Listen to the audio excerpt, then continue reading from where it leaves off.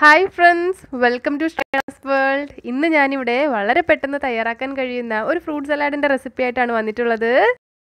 അപ്പോൾ ഇത് നല്ല ഹെൽത്തി ആയിട്ടുള്ള ഒരു ഡിഷാണ് കുട്ടികൾക്കൊക്കെ ധൈര്യമായിട്ട് ഉണ്ടാക്കി കൊടുക്കാം. അപ്പോൾ നമുക്ക് വീഡിയോയിലേക്ക് കിടക്കാം. അതിനു മുൻപേ നിങ്ങൾ ആദ്യമായിട്ടാണ് ഈ ചാനൽ കാണുന്നത് എന്നുണ്ടെങ്കിൽ ആ സബ്സ്ക്രൈബ് ബട്ടണും കൂടെ കാണുന്ന ബെൽ ഐക്കണും കൂടി ക്ലിക്ക് ചെയ്യാൻ മറക്കരുത്.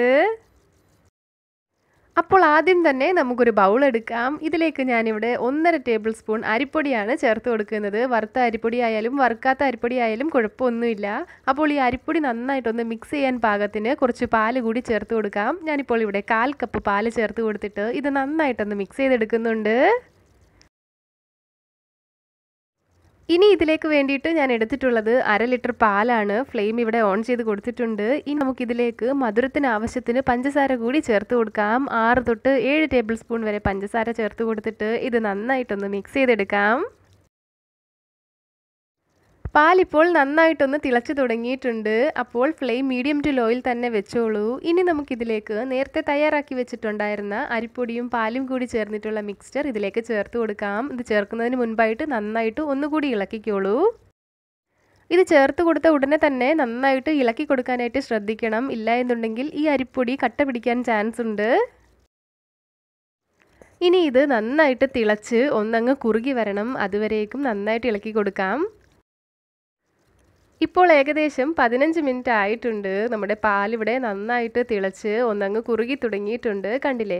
അപ്പോൾ ഇത് മതിയാകും. ഇനി നമുക്ക് ഫ്ലെയിം ഓഫ് ആക്കാവുന്നതാണ്. ഫ്ലെയിം എപ്പോഴും മീഡിയം ടു ലോയിൽ വെച്ചിട്ട് തന്നെ വേണം ഇങ്ങനെ പാൽ കുറുക്കിയെടുക്കാനായിട്ട്. അത് പ്രത്യേകം ശ്രദ്ധിക്കണം. ഇല്ല എന്നുണ്ടെങ്കിൽ അരിപ്പൊടി അടുക്കി പിടിക്കാൻ ചാൻസ് ഉണ്ട്. ഞാനിപ്പോൾ ഫ്ലെയിം ഓഫ് ആക്കിയിട്ടുണ്ട്. ഫ്ലെയിം ഓഫ് ആക്കിയതിന് ശേഷവും കുറച്ച് സമയം കൂടി ഇതേപോലെ ഒന്ന് ഇളക്കി കൊടുക്കണം. ഇല്ല എന്നുണ്ടെങ്കിൽ ഇത് അടുക്കി പിടിക്കും. ഇനി നമുക്കിത് നന്നായിട്ടൊന്ന് തണുക്കുവാൻ വേണ്ടിയിട്ട് വയ്ക്കാം ഇതിപ്പോൾ നന്നായിട്ട് തണുത്ത് വന്നിട്ടുണ്ട്. തണുത്തപ്പോഴേക്കും കണ്ടില്ലേ നമ്മുടെ പാൽ കുറച്ചുകൂടി ഒന്ന് കുറുകി വന്നിട്ടുണ്ട്. അപ്പോൾ ഇങ്ങനെയാണ് നമുക്കിത് വേണ്ടിയത്. അപ്പോൾ ഇനി നമുക്ക് മിക്സിയുടെ വലിയ ജാർ എടുക്കാം. അതിലേക്ക് നമ്മുടെ ഈ പാലിന്റെ മിക്സ് ചേർത്ത് കൊടുക്കാം. ഇനി ഇത് നന്നായിട്ടൊന്ന് അടിച്ചെടുക്കണം. അതിന് മുൻപേ ഞാൻ ഇതിലേക്ക് കുറച്ച് ബദാം മിക്സ് കൂടി ചേർത്ത് കൊടുക്കുന്നുണ്ട്. ഇതില്ല എന്നുണ്ടെങ്കിൽ വനില എസൻസ് ചേർത്താലും മതിയാകും. ഇത് ചേർക്കുകയാണെങ്കിൽ ഒരു കളർ കൂടി കിട്ടും. അത്രയേ ഉള്ളൂ.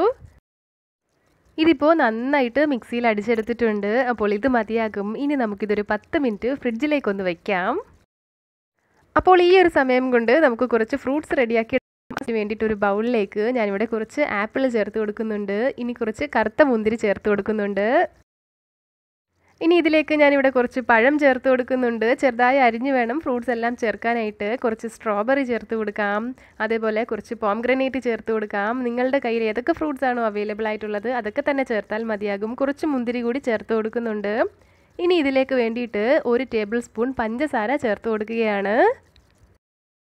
ഇനി ഇതെല്ലാം കൂടി ചേർത്തിട്ട് നന്നായിട്ടൊന്ന് മിക്സ് ചെയ്തെടുക്കാം. അപ്പോൾ ഈ പഞ്ചസാര നമ്മുടെ ഫ്രൂട്ട്സിലൊക്കെ ഒന്ന് കോട്ടായി കിട്ടും. അങ്ങനെ ആകുമ്പോൾ ഫ്രൂട്ട് സലാഡ് കഴിക്കുമ്പോൾ കുറച്ചുകൂടി ഒരു മധുരം കിട്ടും. അതിന് വേണ്ടിയിട്ടാണ് ഇങ്ങനെ ചെയ്യുന്നത്. ഇതൊരു അഞ്ച് മിനിറ്റ് മാറ്റി വയ്ക്കാം. അപ്പോൾ ഈ പഞ്ചസാരയൊക്കെ നന്നായിട്ടൊന്ന് അലിഞ്ഞു വന്നിട്ടുണ്ട്. ഇനി നമുക്കിതിലേക്ക് നേരത്തെ ഫ്രിഡ്ജിൽ വെച്ചിട്ടുണ്ടായിരുന്ന പാലിന്റെ മിക്സ് കൂടി ചേർത്ത് കൊടുക്കാം. ഇതിപ്പോൾ നല്ല ക്രീമി ഫോമിലായിട്ടുണ്ട്. കണ്ടില്ലേ? കുറച്ചൊന്ന് തണുത്ത് വരുമ്പോഴേക്കും നല്ല ടേസ്റ്റ് ആയിരിക്കും. ഇത് നമുക്ക് നമ്മുടെ ഫ്രൂട്ട്സിലേക്ക് ചേർത്ത് കൊടുത്തിട്ട് നന്നായിട്ടൊന്ന് മിക്സ് ചെയ്തെടുക്കാം. ഇതിപ്പോൾ തന്നെ സെർവ് ചെയ്യാവുന്നതാണ്. നല്ല ടേസ്റ്റി ഫ്രൂട്ട് സലാഡാണ്